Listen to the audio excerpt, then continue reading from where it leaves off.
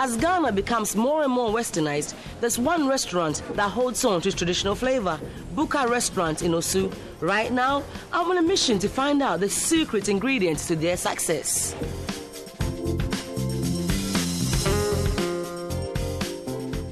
Audrey, what does Buka mean?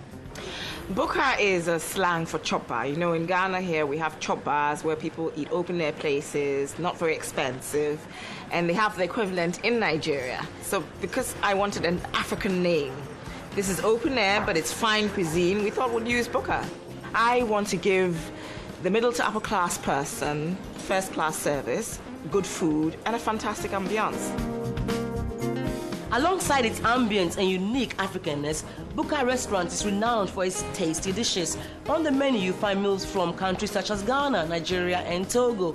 Each meal is prepared by a chef from that country. Right now, Auntie Lily has promised to make me something rather succulent. I'm going to prepare pepper snail. What, what will you start with first?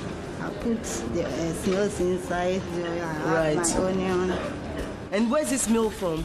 It's a Nigerian. Nigerian meal. Is it a main course? Is it a starter? A starter, and you can take it as a main course. My pepper, my adobo, and my curry powder. What do you eat this with? Anything you want, a bar, amala, anything at all you want. Okay. Mm, it's smelling good already. Hmm.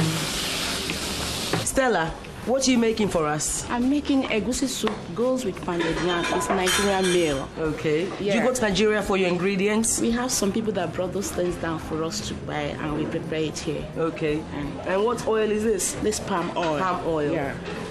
We add our shredded onions to bring a good taste out and nice smell. Stella, is this a very spicy meal? Very, very. This is um, blended tomatoes and onions. Beautiful and it's tasty. Then after it's, it has fried a little bit, then I add my melon and add it with water. Then I stir it. Okay. Mmm, it's looking good. Right. Then we add this, the crayfish and the dry fish. Yeah, I'm adding my shredded uh, melon to garnish it. What's the Buka speciality? Buka Special is everything, basically. We have a, a normal menu, which has the usual jollofs and kontomires, um, spinach and okra and things like that, and then the basic Nigerian